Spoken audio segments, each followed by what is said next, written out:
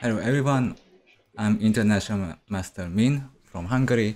I'm going to be your commentator and we're going to watch a game between Szöke Nora and Varga Peter, International Master. Um, we have a Slav defense. Now 3, d takes e4, e4. White has a 1400 level and Varga Peter is around 2300. Bishop f5. This is a solid opening. We have bishop f4. It's not the main move. The main moves are knight e5, knight h4 or e3. Now Peter is uh, thinking because uh, he never saw this move and he's thinking how to punish this. As far as I know, he's the number one in the tournament and this is the first round the time control is 10 plus 5 so we have a rapid time control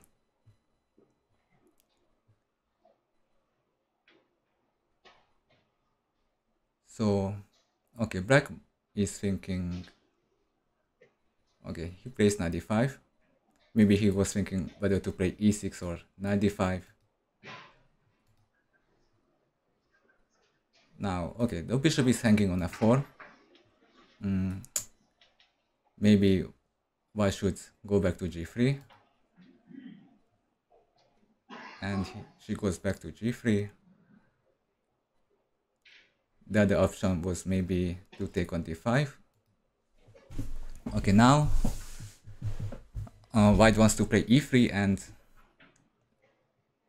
uh, win back the pawn so maybe black can try to hold on to this c4 pawn by playing uh, b5. The idea is uh, if white takes on b5 then we can take on c3 first, b takes c3 and only then take on b5. Uh, at the moment e4 is not a fork. In, chess we call this a fork when a pawn attacks two pieces at the same time and it looks like white is winning a piece, but black can play knight c3 first, bc3, and only then take on e4.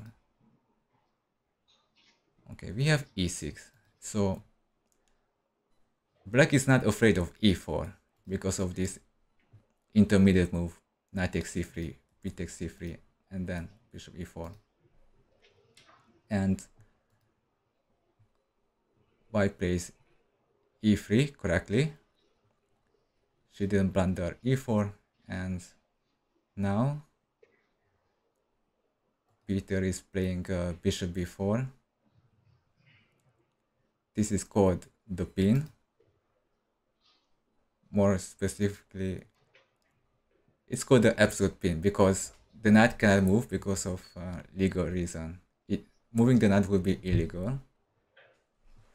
Peter is uh, increasing the pressure on c3 and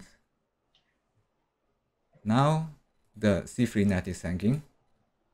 There are only two defenders and there are three attackers so the only way to defend c3 is to protect it with queen d2 which happened in the game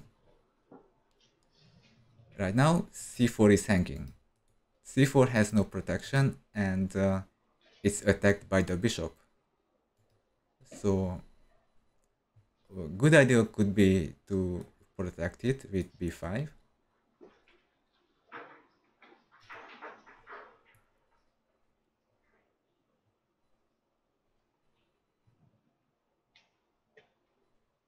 And we have b5 on the board.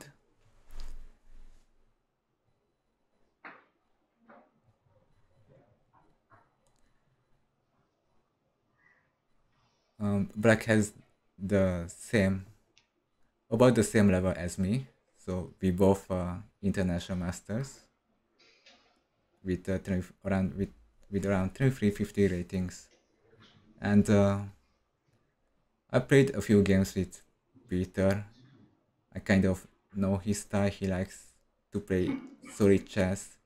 He doesn't like to risk. He's a very positional player. But that doesn't mean that he would he would uh, shy away from tactics.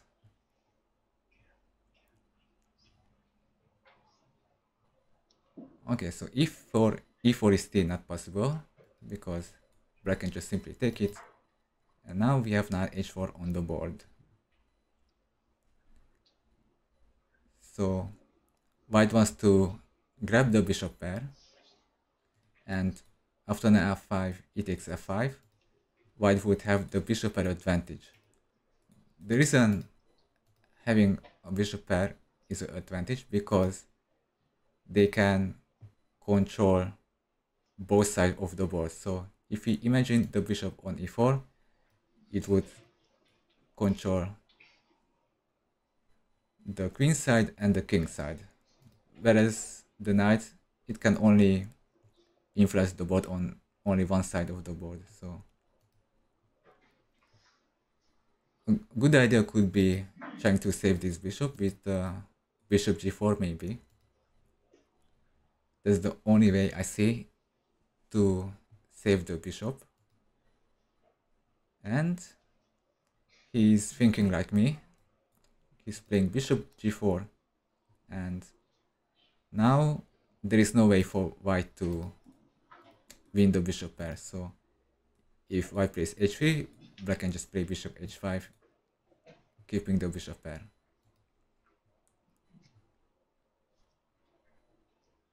or f3, h3, it's the same idea. She plays e4. She wants to get rid of this uh, very strong knight in the center. The knight in the center controls 8 squares. So it's a good idea to chase it away. So if, if it moves to, let's say, b6, from b6, it will be more passive because it controls only six squares. And okay. He was about to move the knight but suddenly he changed his mind. Probably he saw other options than knight b6 maybe he's thinking about playing knight f6 because if black plays knight b6 that would block the queen from retreating.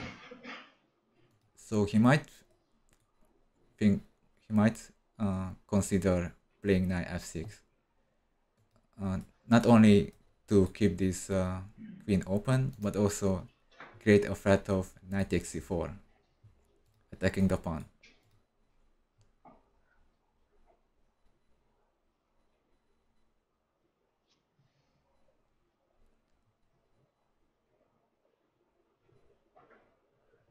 And he's about to move the knight and he plays uh, knight f6.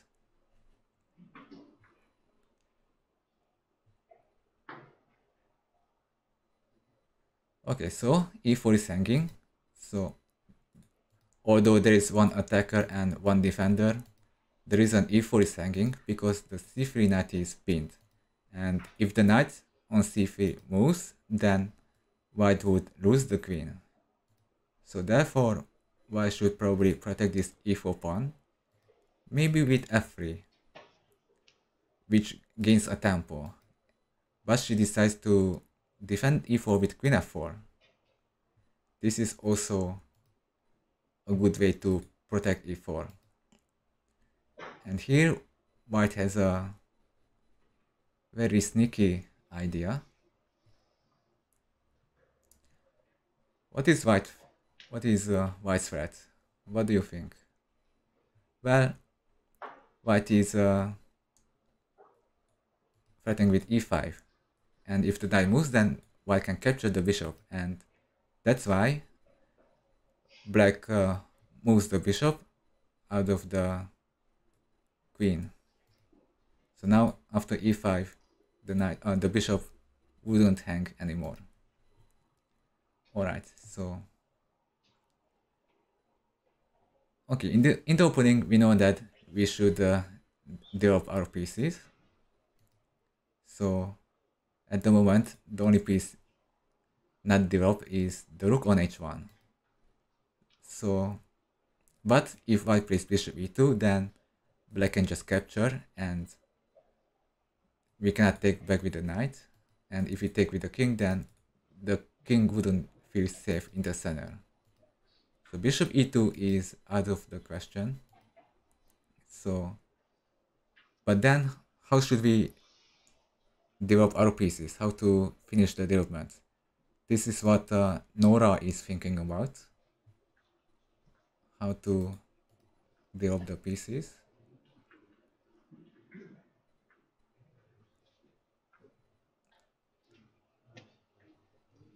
Uh, she played knight f3. So she wants to play bishop e2 without uh, allowing bishop e2, king takes e2. And okay, now e4 is hanging, hanging again. Black is not giving the time for white to finish the development. And we have knight d2. It seems like a good move, but the bar doesn't like it. But personally, this is the move I would have considered. So I'm not sure what's wrong with 90, uh, 92. Maybe it leaves the d4 pawn uh, unprotected. So maybe black can deal with the tempo with knight c6. This is the move I would thinking about playing.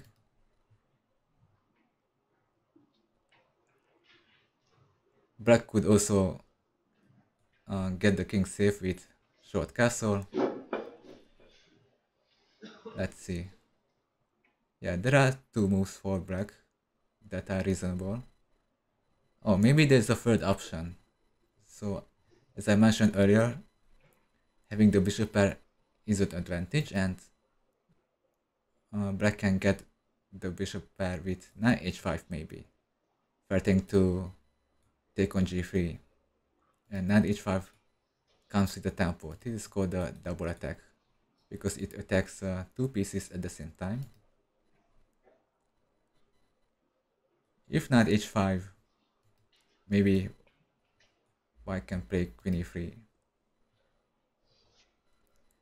and taking on g3 would open the rook on h1 so maybe not h5 is not not so tempting and he decides to play knight bd7, which is a very normal developing move.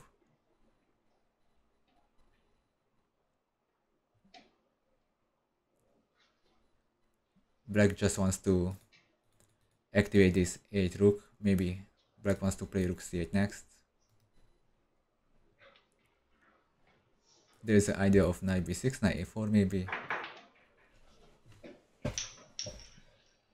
and we have bishop e2 short castle and short castle. Okay now both sides finish uh, its development. Now we reach the middle game. So when when both sides finish the development that's when the middle game starts. And we have queen b6 on the board attacking d4 d4 is hanging how should we protect it? That's what a beginner would think, right? But an advanced player would uh, try to counterattack. So one way to counterattack is to play e5. Okay, she plays queen e3, protecting d4. It's a little bit passive move. I would have considered e5. I think I think she played a little bit too fast. She would probably slow down a little bit because uh, she still have five minutes if I see it correctly. And black has only two minutes.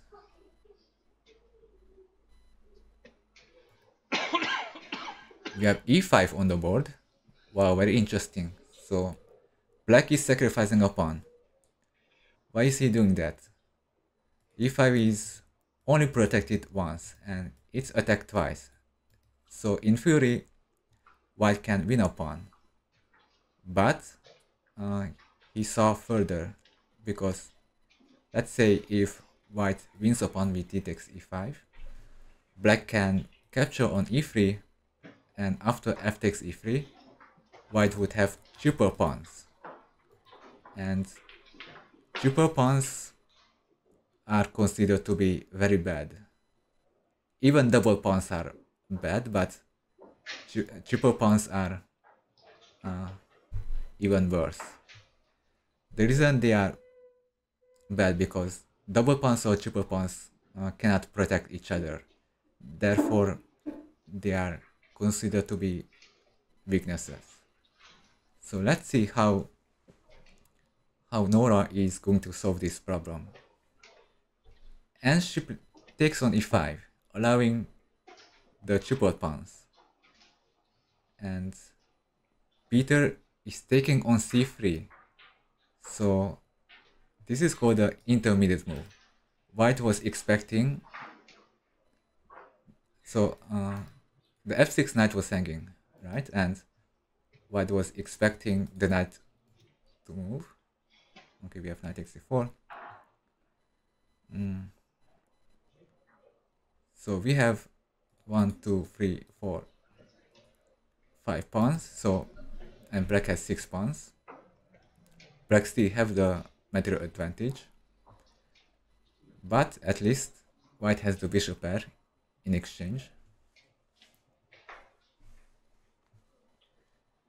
And okay, black has a pass pawn on the a7. If you have a pass pawn, you should try to push it and try to create a queen. That way you can gain material advantage. And we have rook fd1 on the board attacking the d7 knight. Knight c5. Black is trying to occupy the outpost. So we, we call these squares outposts. The definition of outpost is it's a it's a square that is not defended by the enemy pawn and it's defended by our own pawn and putting a piece on the outpost is a, usually a good idea. And she plays bishop h4. She wants to play bishop e7 because he's, she sees that uh, so she wants to trade this c5 knight because knight on the outpost is going to be a monster but unfortunately for her she doesn't have time to trade the bishop for the knight because uh, black played knight b3 and this wins an exchange and we have a handshake. Wow. She missed a tactic. The rook was trapped there, there was no way to save the rook. Wow. Bishop h4 was the final mistake. Okay we, we have the expected result. Thank you everyone.